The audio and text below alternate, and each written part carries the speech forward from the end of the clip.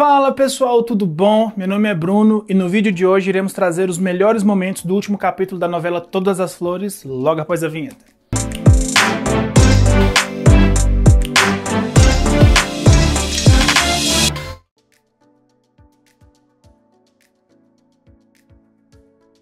Ai, O que, que foi? e um rato? Mata. Que rato? Pega pra matar. E esse foi o vídeo de hoje, espero que vocês tenham gostado. Now the world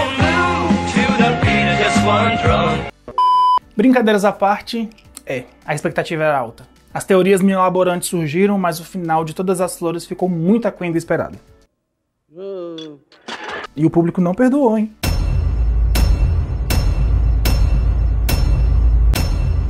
Segredos foram enterrados junto com os personagens. Nada mais foi falado sobre o roubo do Humberto a Rhodes, a origem do incêndio provocado por Patsy, Diego não soube que fim levou sua mãe. Parece que os roteiristas simplesmente esqueceram de amarrar as pontas soltas. E falando em morte, infelizmente perdemos quatro dos melhores personagens.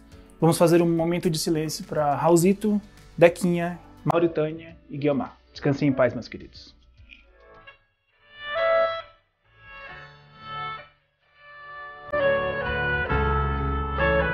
E a tão esperada vingança da Maíra.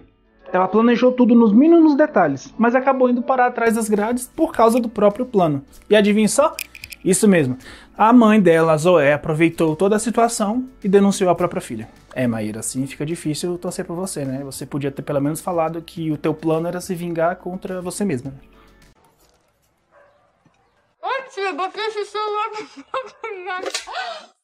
E o que dizer da vilã Zoe? Do nada ela resolveu fazer uma boa ação no julgamento e assumiu todos os crimes, livrando a Maíra da prisão.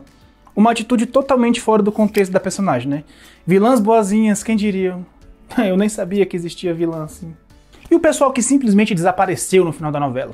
Procura-se Fafá, Gabi, Biel, Doutora. O bebê da Jéssica? Não faço a menor ideia. Ele foi esquecido até pela própria mãe. E o final do Pablo? Depois de um arco de redenção, ele foge com o dinheiro roubado, ficou a cara do galo e é roubado também. Será que ele morreu ou só foi vítima de um bom drink? Ah, finalmente os refrescos. Mas nem tudo foi decepção nesse final, pessoal. O trio Maíra, Zoé e Vanessa conseguiu se destacar. Maíra voltou a ser aquela mocinha bondosa, de coração puro, apesar da promessa de vingança que nunca foi cumprida. E a Vanessa? Sempre criticando a mãe pelas breguices e pelo passado de batedora de carteira, adivinha?